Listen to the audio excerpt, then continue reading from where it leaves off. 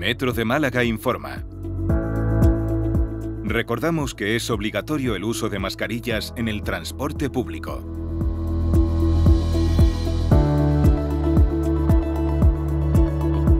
Muchas gracias por tu colaboración.